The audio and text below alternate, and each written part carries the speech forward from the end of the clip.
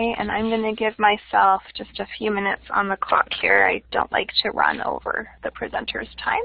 All right, so if you're just joining us, please go ahead and check your mic and your, test your audio for us. We are going to be doing a little activity later where it will be um, good if you have your mic, but you'll still be able to participate if you just need to type into the chat. That's fine too.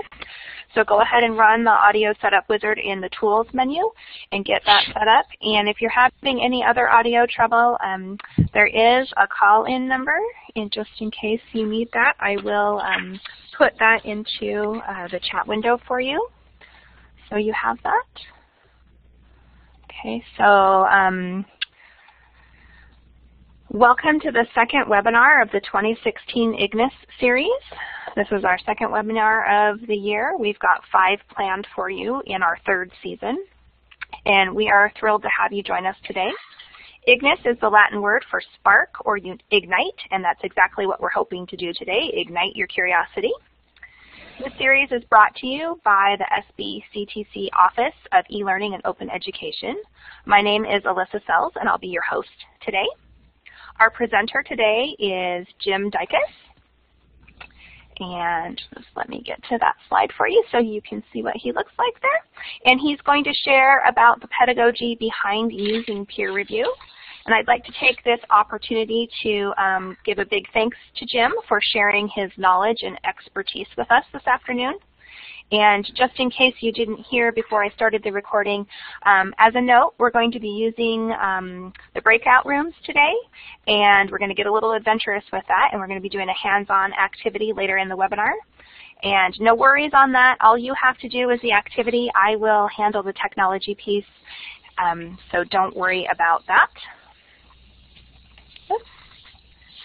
Sorry, I keep losing the page explorer on the slides. So here's where you can find the breakout rooms. When I create those, you'll be auto-dispersed into those rooms, and it'll be just like a regular Collaborate room. Um, you'll just be working with a small, smaller group to do the activity. All right, so um, we are having all of our webinars captioned this season. So thank you to a la carte for their real-time captioning services. To activate those captions, click on the CC button in the top right corner of the audio video panel there. And um, you can also use the keyboard shortcut keys to open and close. Um, those are Control F8 to open and Control W to close the captioning windows. And you can find a list of the um, captioning shortcuts uh, at this link. I'm going to go ahead and paste those into the chat for you just in case you're curious about those. And um, I'm also going to give you the accessibility guidelines uh, in case you're curious about um, Collaborate and how that works with accessibility. So as a reminder, this webinar will be recorded, and you can access that recording on the ATL blog, and I will also put that link into the chat for you. And there's a screenshot there of what that looks like. You just go to the IGNIS webinar series menu drop down and then you can select the 2016 IGNIS um, recordings. So traditionally, we have started our webinars by running through a few of the Collaborate tools, and we're going to go ahead and do that now, and then I'll turn it over to Jim. So here is our meeting interface. The upper left is the audio video panel. That's where you see my picture now. The middle chunk on the left is the participant panel. You can scroll up and down that to see who's attending the webinar with you. And the bottom left is the chat window.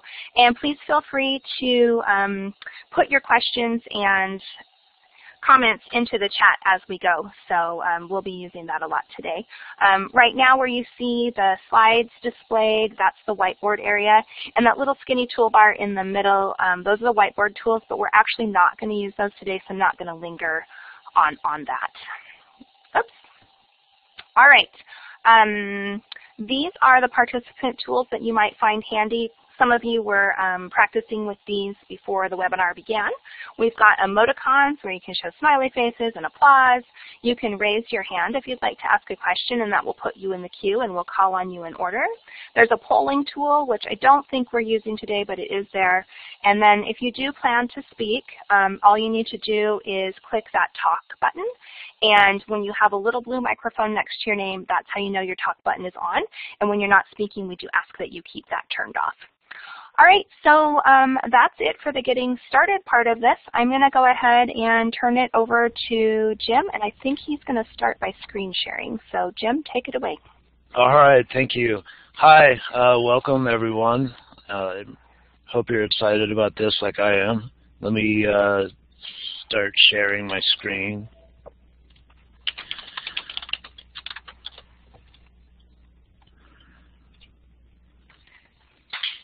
So today we're going to talk about uh, the pedagogy of peer reviews.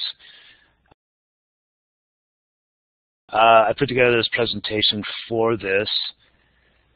Uh, I'm excited about it. Peer reviews are a tool that I like to use. I feel that they are a little bit underappreciated uh, simply because they need to be managed a little bit.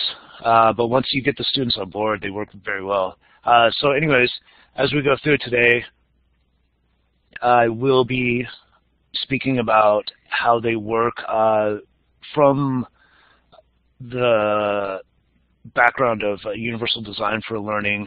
Uh, I'm going to talk about how you want to develop peer reviews. I'll show a couple examples I will also show an example of the peer review feature tool in Canvas because many of us are using Canvas as an LMS and it's important to look at how it functions.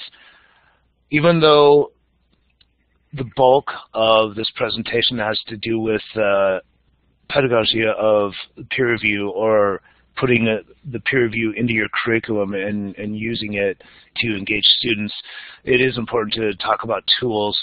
So I'll talk about Canvas uh, because it works well, but it also does have some limitations. Uh, and then at the end, I have questions and additional links to talk about. So let's start with speaking about why we want to use peer reviews. Uh, it's very important to look at peer reviews as a tool of engagement.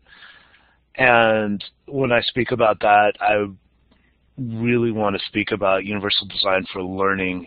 Uh, we have our three universal design for learning principles. We have multiple means of representation, we have action and expression, and we have engagement. And although all three are important, uh, since we're on limited time, I'm primarily going to focus on how developing peer review as an idea uh, in the classroom it works well with engagement, which is the last or the third uh, principle of universal design for learning. So specifically, when we go to the three principles, uh, although they're all important, I want to focus on uh, number seven, which has to do with promoting interest. Number 8.3, which has to do with fostering collaboration and communication. Number 9.2, which has to do with personal coping skills and strategies, and number 9.3, uh, which has to do with self-assessment and reflection.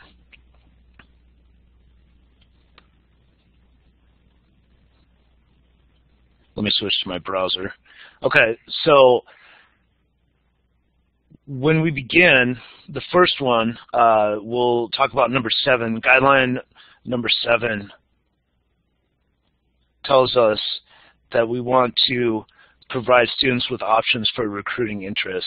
And interest is very important uh, to learning. If you don't get the students involved, uh, if you don't promote interest, right, it, you will have a difficulty uh, imparting knowledge or new skills to them. So even though guideline number seven has three checkpoints, one, two, and three, I really only want to speak about number seven as a whole.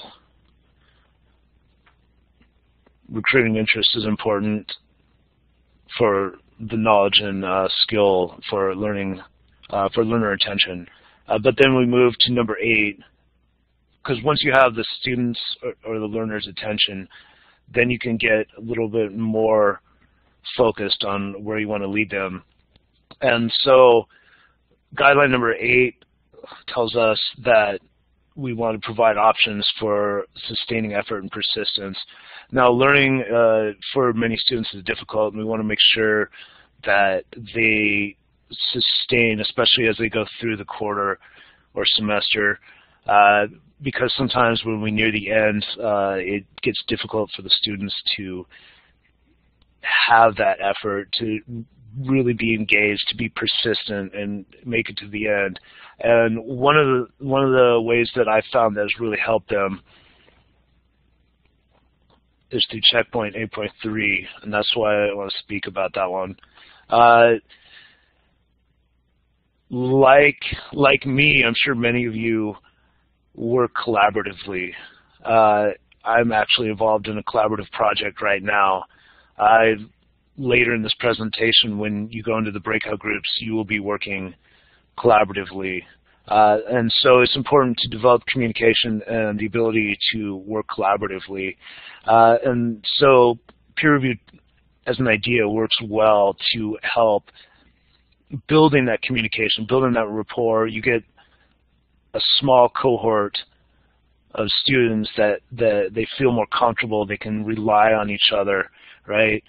and peer support is very effective when when learning is involved, right? Because students have a different communication level between each other as they do between the instructor and the student.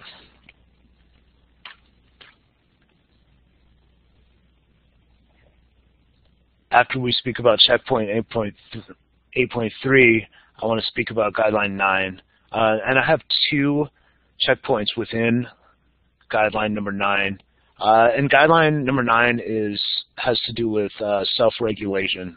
And learners need skills for self-regulation. It's a very important tool. It helps them to be able to get through uh, school, right? Get through the process of learning, to be able to sustain the effort over the course of time.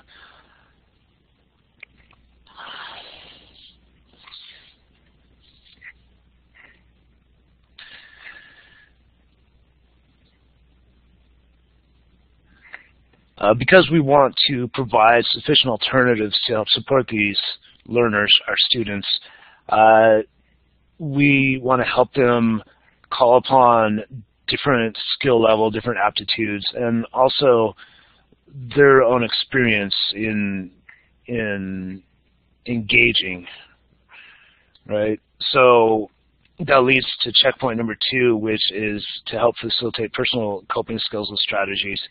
Uh, as part of the series of the peer reviews that I've developed, I I think it's important to not just throw something at the students and expect them to be able to figure it out. We always want to scaffold something, and we always want to be transparent as to what our goals are of the assignment, where whether it's a peer review or a capstone or a simple comprehension check.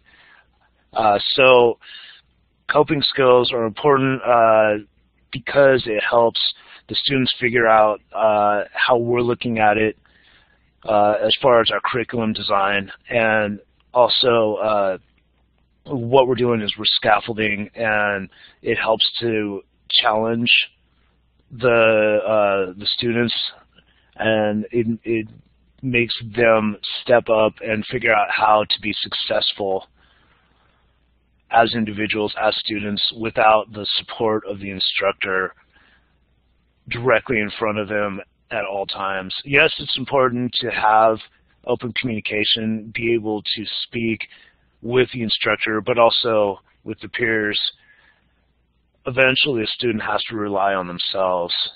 And school is very stressful. Uh, some students are better at dealing with it than others.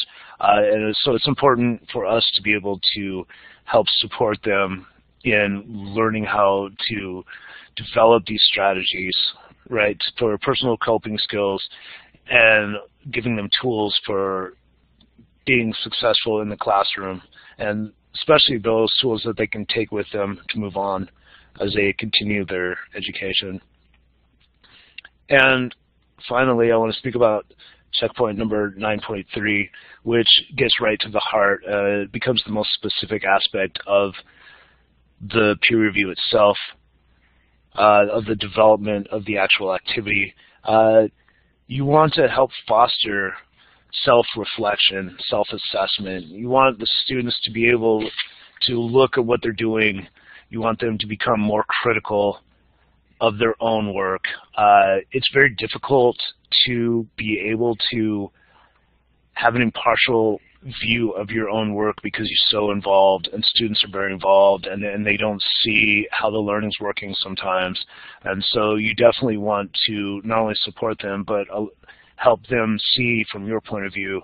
And this is how the rubric for the peer review functions. Uh, you want to connect that in a way that, that it helps them understand how to critically examine their own work.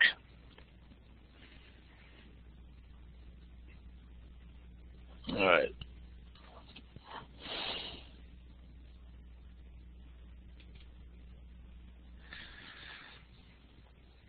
So, to get to that point, with all these principles of universal design for learning in mind, uh, we want to think about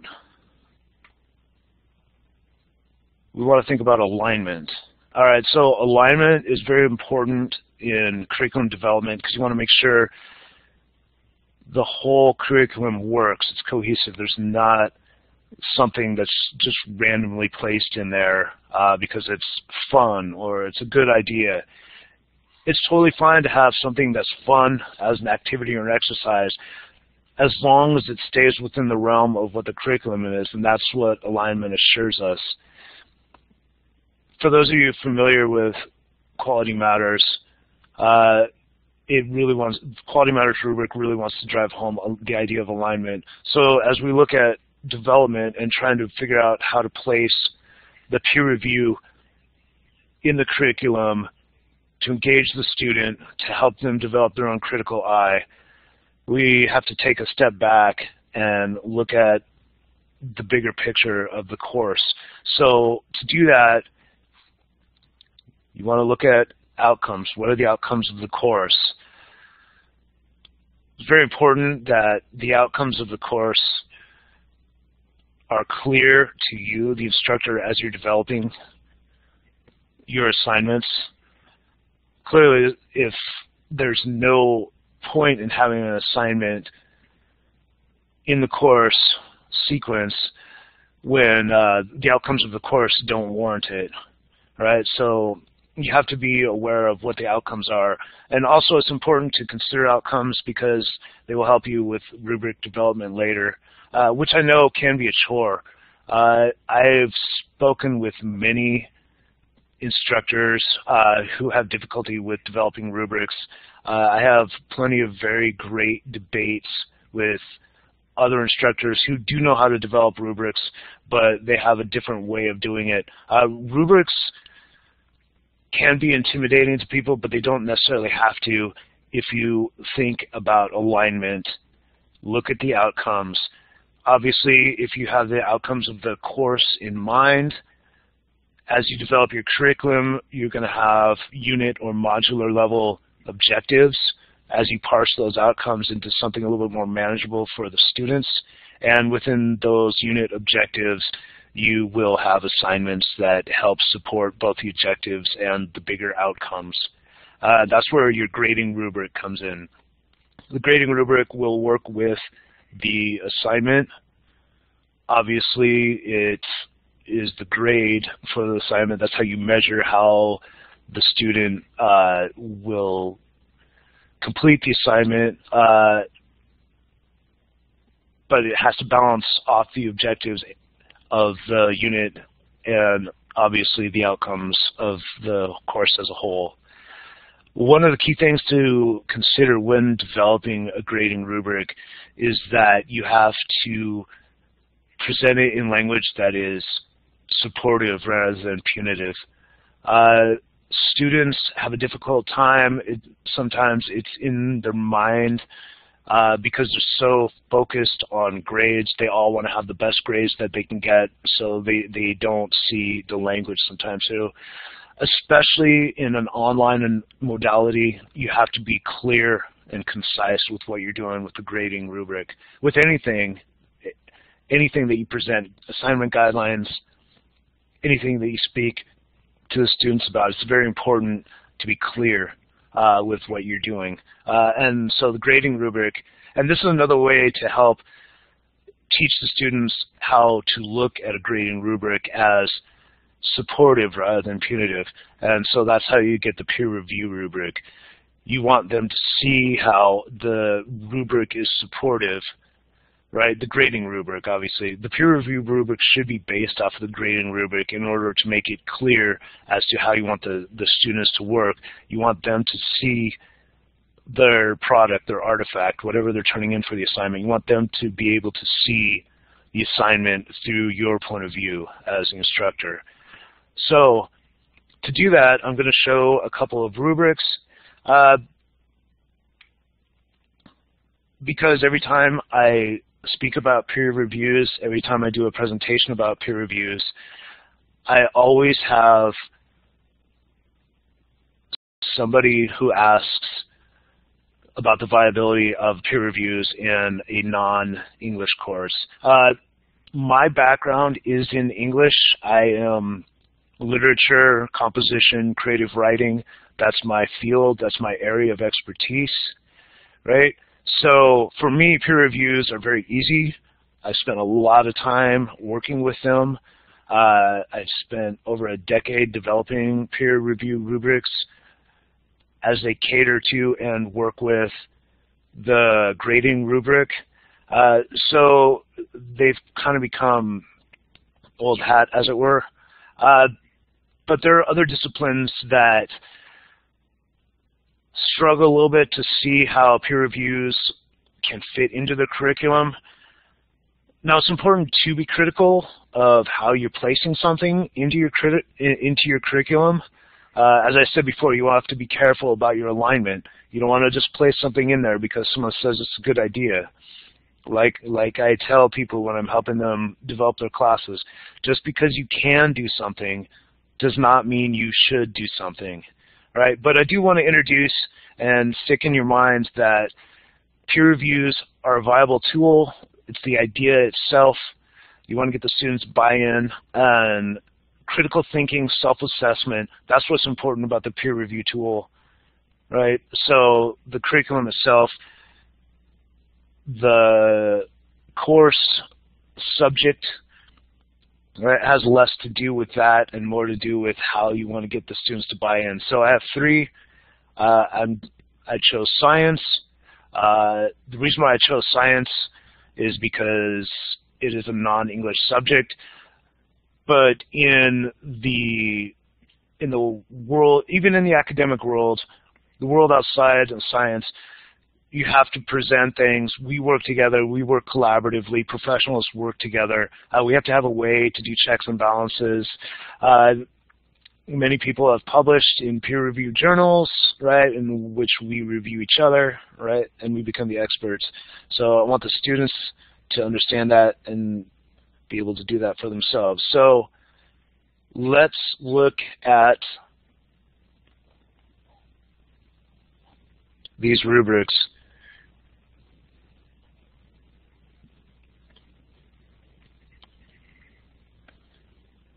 the, this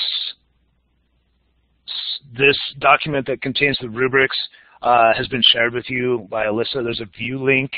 Uh, I'm sure she sent it out to you. You can click on it and have it on your screen on your computer. Uh, I'm not sure how easy it is for you to see on the screen, but I'm going to go through it and talk about it a little bit. The first part of this particular rubric is the grading rubric.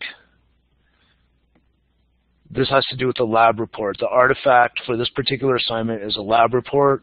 I didn't include all the assignment and outcomes and objectives, but we can, I'll, I'll briefly go through them. I, I primarily want to show the rubric itself.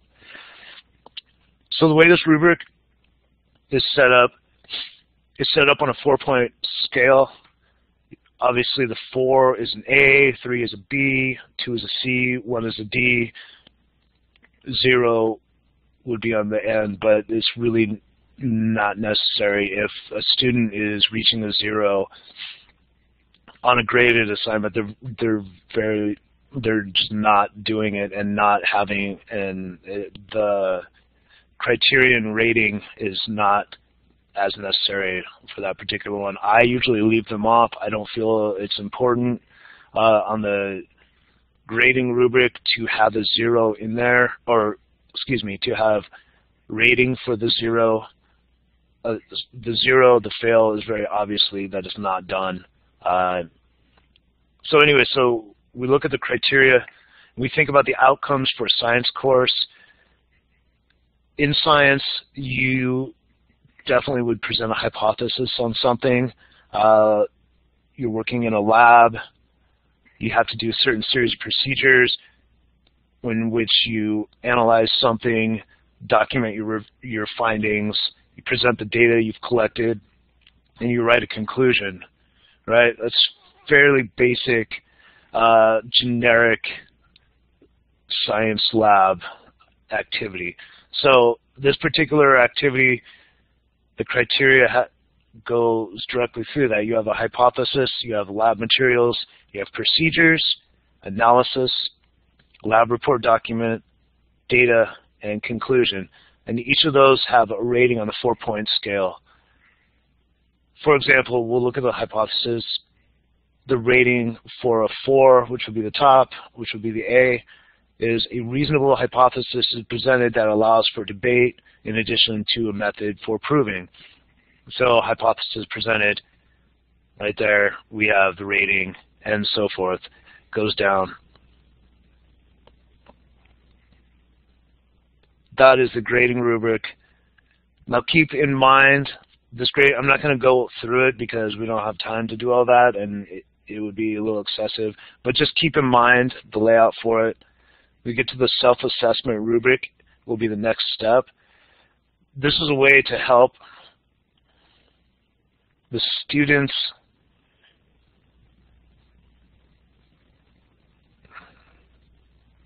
I'm sorry, let me get it so you can see it because it's going off screen. The self-assessment rubric is a way for you to connect the students back to our UDL principal criterion, right? Checkpoint number 9.3, again, we want to have self-assessment and reflection. So the student has access to the grading rubric. You give them a self-assessment rubric. They complete the report, you give them the self-assessment rubric. Self-assessment rubric asks the student to rate themselves according to the same scale that the grading rubric does. A or four being excellent, three being very good, two being average, one being poor. Again, the zero is left off. And you simply ask them questions and they put the numbers in the in the columns. I have presented a clear and accurate hypothesis that can be supported by the lab. Stephanie, um, Jim, Stephanie has a question for you. Go ahead. Go ahead, Stephanie.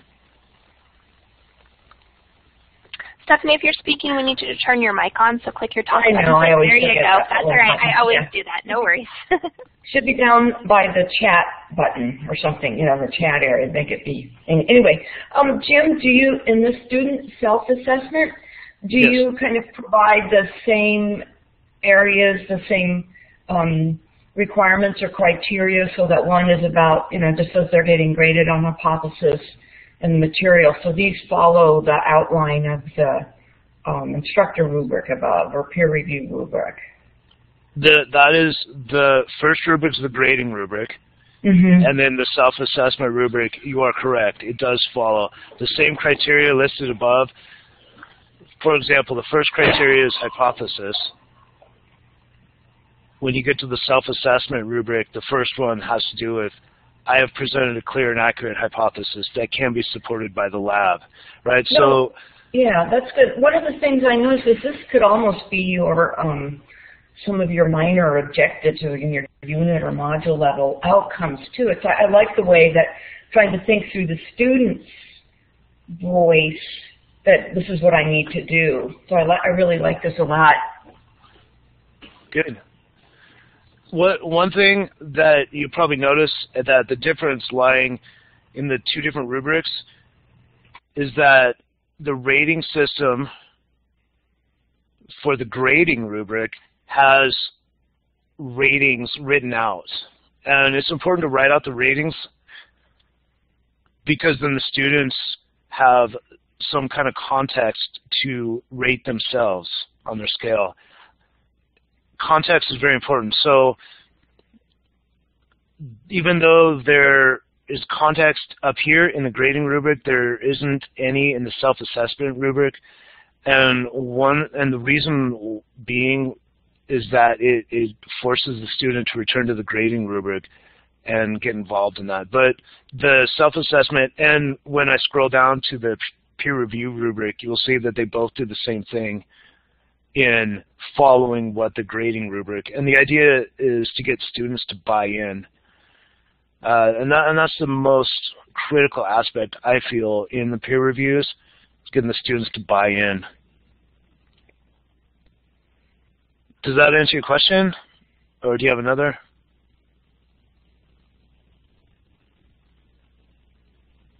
Yep, go ahead, Stephanie. But click your talk button, Kay.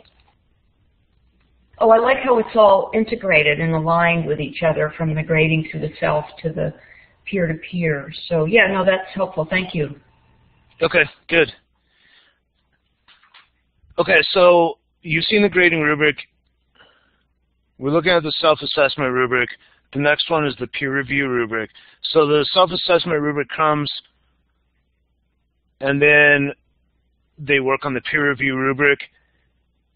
The difference between the self-assessment rubric and the peer review rubric has to do with the difference between first person I and the third person the writer.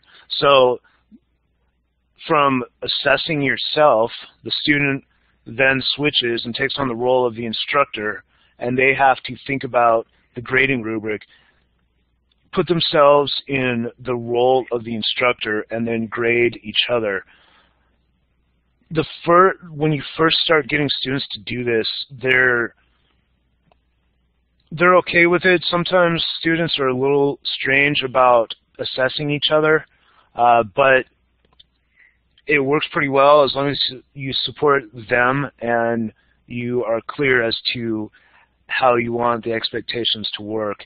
Uh, the additions onto the peer review rubric that aren't on the self-assessment rubric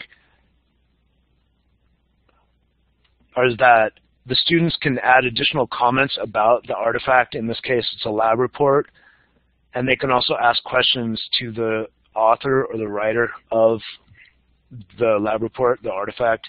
And one of the things this represents is what we look at or what we call end comments and it in in graded work. And it helps the students take on that instructor role and it supports their buy-in to take their ownership over what they're doing with their products and bringing it to a higher level. All right. That is basically the con concept of it. Another question? Yeah, Jim. Um, do you require that students also fill in these two sections? They have they have to make some additional comments, or or do you allow this to be blank? I allow those to be blank, but I do have them write into each other's documents. Uh, I tell them that the smaller detail, like punctuation, is the writer's responsibility, but if we see something, we can write uh, I noticed that you have grammatical errors, I strongly encourage them to add additional comments and add questions to the writers. Uh, it's all about how you phrase it. I don't require them to do it, but I encourage them to do it, so they generally just do it. Uh, it's all about setting expectations.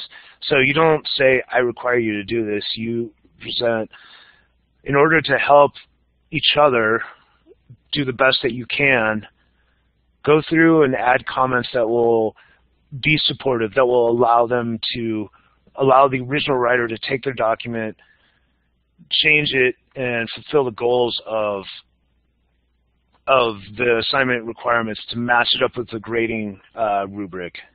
Uh, and then they just do it. Okay, sometimes thanks. they sometimes you get students that don't, but yeah, Okay, thanks. No problem. Now the the last thing I want to show you uh, is what I do. Some people don't do this, but to get buy-in to the peer reviews, I require it as a graded assignment, and because the rubric caters to the quality of the work, I grade them on participation. So this, and this could also help answer your question about the the requiring the comments or encouraging the comments. What I do is I grade their participation, and the very first one, the very first peer review assignment I do in a in a term in the course is I try to set the expectations really high and I leave feedback on the peer reviews. I do require the students to turn in the comments, the peer review comments that they've given to the other students so I can see what they're saying to each other. Uh, and then what I do is I have a grading rubric for the peer review assignment and that peer review uh, grading rubric is participation based. So it doesn't have to do with the quality of the original artifact for, in this example, the lab report. It doesn't matter. As long as it's completed and as long as the student tried, they get credit for submitting it. And I usually do on a five-point participation scale because my participation, my weekly participation is on uh, five points. You get one point per day, Monday, Tuesday, Wednesday, Thursday, Friday. It's five points. So this would be a week worth of participation uh, in one assignment. So it does have weight. Uh, it does encourage the students to, to do a good job at it. Uh, and that, in turn, gets them to do the um, add the additional comment, write in extra questions. And so uh, I have two criteria. You have to submit the assignment to get credit. That's two points. And then you have to leave feedback. And I always do it in threes because normally I, I teach the lower level classes, 100, 200 level classes. Uh, so the size of the submission is that which a student can do a clear peer review in a 15 minute time span. So in 50 minutes, I require that they do three, they give feedback on it, and they get one point per review that they do, so they can get up to three points with a total of five. And so this rubric stimulates them to do the additional feedback work. And some students just love doing the feedback. So there's that. Okay.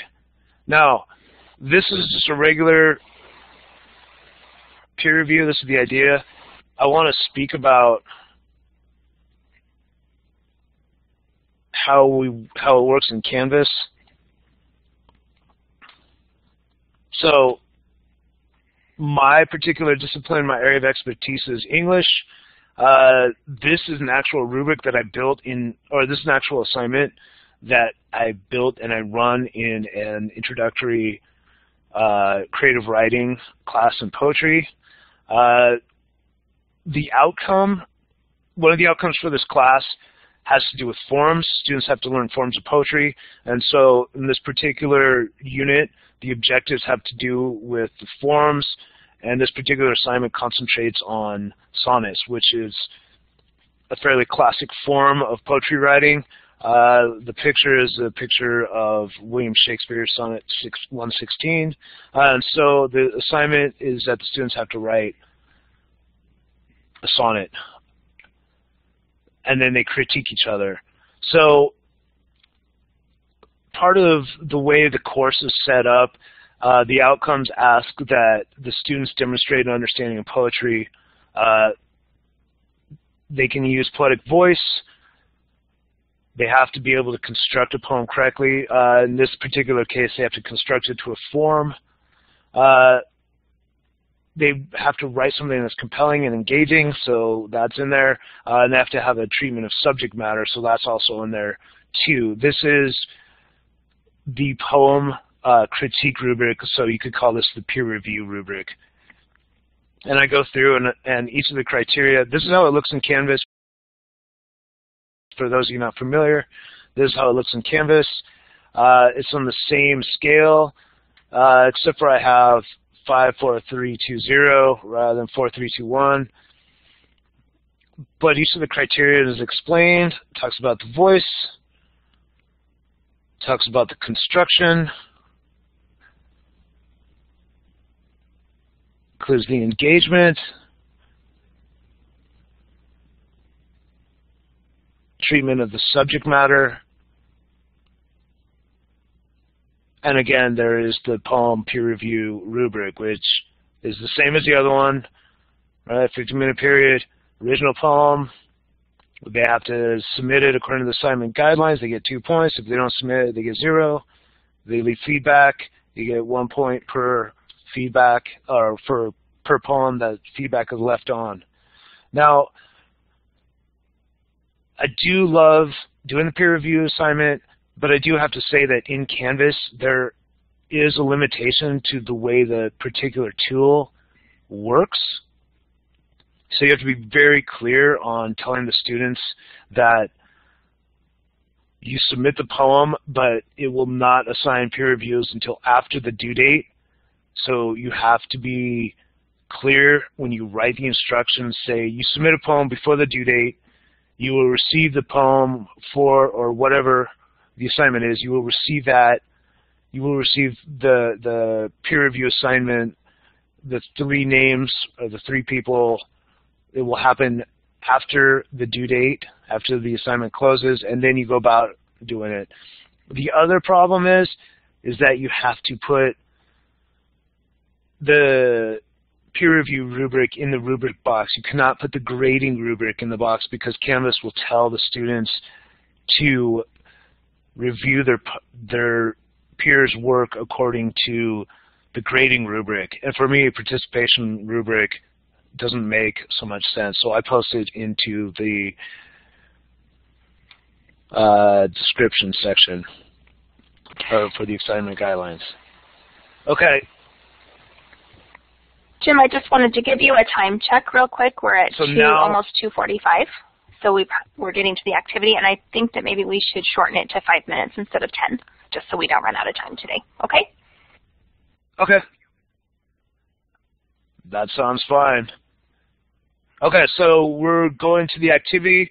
Uh, so this activity follows a sequence. You're going to see it looks just the same like the lab report, like example that I just gave. Uh, just for fun, just because I like cooking, uh, I wrote something about cooking. So the activity, uh, and we're going to break you, we're going to put you in breakout groups. Uh, go through. We have course outcomes for Cooking 111, which is championship cooking, a class that I made up that I would love to teach because I like cooking. Uh, then we have unit objectives. The, the course objectives has to do with cooking as a whole, becoming a chef. The unit objectives have to do with breakfast foods. The assignment is to make a quiche and serve it with correct side dish and drink.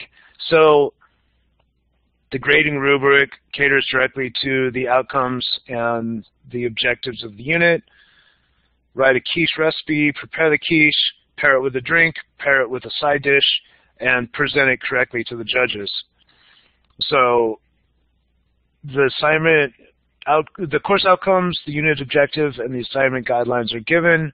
I give you also the grading rubric. And in the breakout section, I would like to have you guys work together oops, and build a peer review rubric. So think about how it functions together. Think about developing your criteria. Don't there's a blank rubric. Don't feel totally constricted by the blank rubric for the peer review, but do keep in mind that I've presented you a grading rubric and also think about the the example of the science lab rubric that I presented. So if everyone's ready, let's get started on this. Uh, and because we're out of time, we'll do five minutes instead of 10, and then we'll come back as a group. We'll speak about it briefly, and then I can answer any okay, other questions. so I'm going to put us into two groups, and um, Jim and I will go back and forth between the groups to help you out. Um, you will not be able to see the whiteboard when um, you get into your group, but I've given you the link in the chat. You can just click on that and open it on your own computer. If you have your mics, uh, go ahead and use those. If not, um, feel free to interact with your um, group mates uh, via the chat. I will set a five-minute timer, and um, we'll automatically put you into the groups and automatically pull you back together into one big group. So here we go.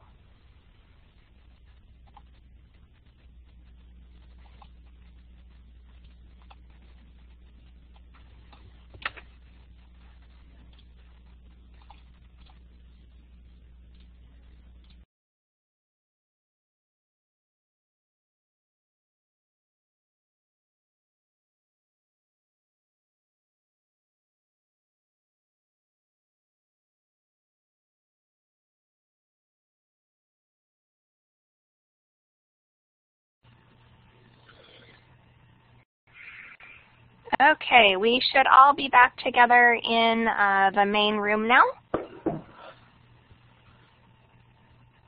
And Jim, are you going to pull up? Looks like you're pulling up the assignment.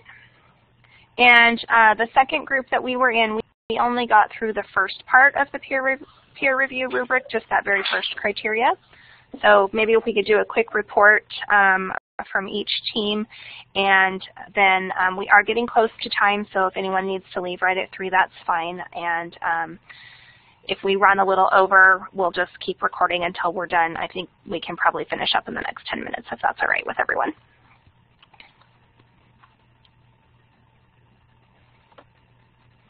Okay, Jim, um, if you're speaking, we need you to click your talk button.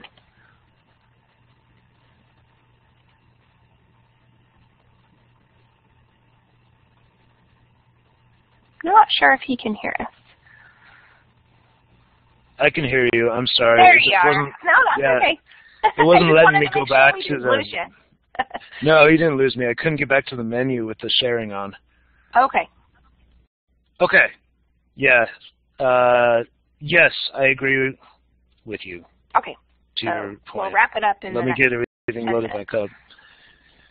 Okay. Uh, so yeah, basically what we were speaking about in ours is that looking at uh, in the breakout room number one, we were having a good discussion uh, about eating quiche and how good it is. No, uh, what we were talking about was how we want to look at the rubric and work our way backwards. And uh, I think it was Stephanie was speaking last about that. Did you want to Oh, yeah, it was were, like, you yeah, I guess the way I would get started on this, I mean, I like the format a lot. It's not one I use. I've used sort of more informal prompts and cues, but I like the I like the more formal structure of this, especially for a graded class. But I would work. What I would do is in my little peer rubric table, I would probably like literally write these same criteria. So I know I have the, I have the five criteria. I want the students to look at the same criteria that I'm looking at. And I did have, I mean, we were discussing like, I mean, basically paraphrasing these into the writer. The writer presents a complete recipe, all the ingredients are listed, the instructions are clear, plus they've added something. Um, so that would be where I would probably start. Um, and just almost like, like as I said, paraphrasing the grading movement, but from this more of the student's point of view, and maybe a little more. Just I would probably simplify them a bit, um, or refer them to the grading rubric also. So there's probably different opinions on that, but that's that's about as far as I got. Yeah, we were having a discussion about using the actual grading rubric too, which who was saying that? It was me. Was it? Okay, yeah. So just using the actual rubric and not necessarily building a, a second one. And we were talking about the merits of changing the language. Just just for the students to be able to get involved with it a little bit better. Uh, what? How was your group? How was group two? What were they discussing?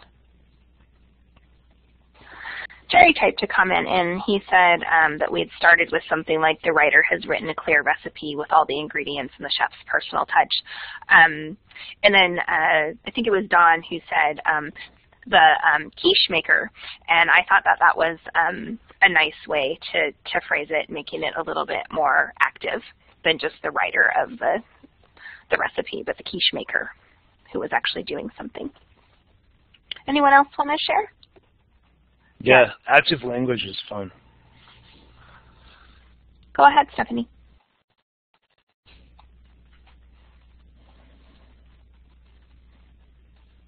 Never mind. Oh, okay, no worries. Okay, so I I think many in our group we had people that were already using peer reviews.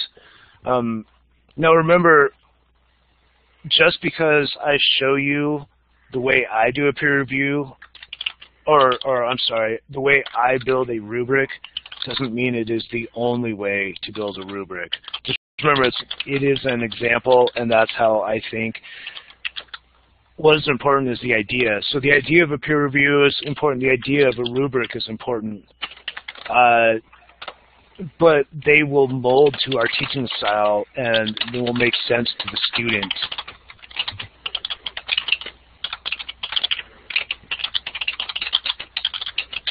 Who's typing?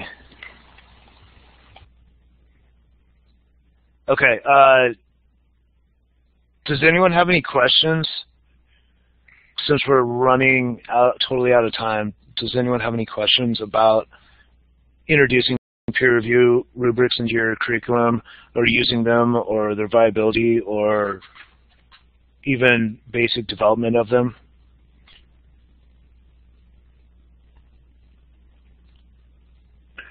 Hi, Jim. It's Stephanie again. I uh, just finished up the qualities, Quality Matters course in accessibility. And I would say the course is pretty much built around um, peer-to-peer um, -peer interaction. And um, they do have a rubric, but it's it's just almost like a statement. You know, your your uh, you know contribution to your peers needs to consist of these elements. It's sort of a pass-fail basis.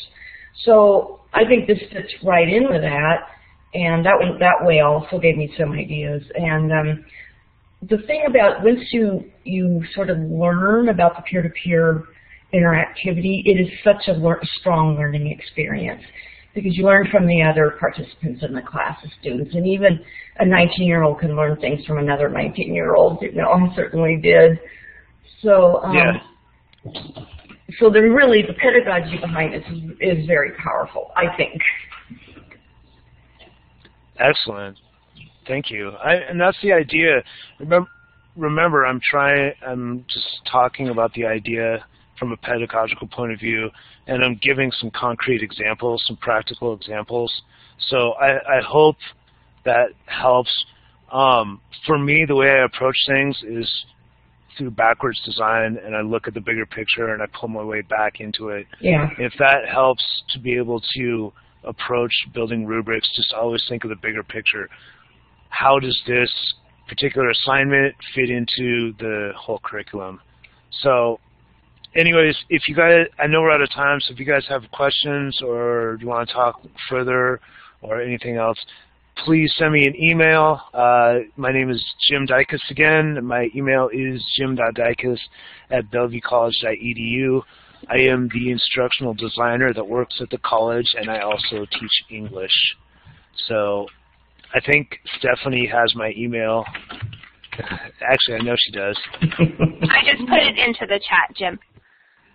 So, Thank you. Um, Uh, people can access it there. Excellent. I really appreciate you guys being involved and going through this presentation with us. Thanks, Alissa, for setting it up and facilitating it. Uh, if anyone wants to download the link to this presentation, uh, it's been provided as a share link. Uh, there are additional links at the end of this where you can look at some nuts and bolts pieces that I've included. Uh, in addition to some other uh, pedagogical things uh, and some references pieces uh, concerning universal design for learning. So that's it. I want to thank everyone and uh, have a great day. Yep. Thanks. Alissa? Yeah, you too. I just put the link to Jim's PowerPoint into the chat. And um, I just wanted to let you all know that next month we're going to do a two-part series on mindfulness. So join us on May 12th for Mindfulness, It's Not What You Think, Part 1 with John Mitchell from Clark Community College. And then the following week on um, Thursday, May 19th, uh, Mindfulness Training and Teacher Development Part 2 um, with uh, Bridget Ryder, and she's from Tacoma Community College. So um, mark those on your calendar. I will be sending out some announcements for that. And again, captions were provided today uh, by a la carte, so thank you, Sue, for joining us for that. And if you have any questions or comments or um, need assistance finding any of the materials, please feel free to uh, shoot me an email at asells at sbctc.edu. And uh, we thank you for your participation today. And I'm just going to throw my email address into the chat and turn the recording off. So thanks again for joining us. Bye-bye. Thank you.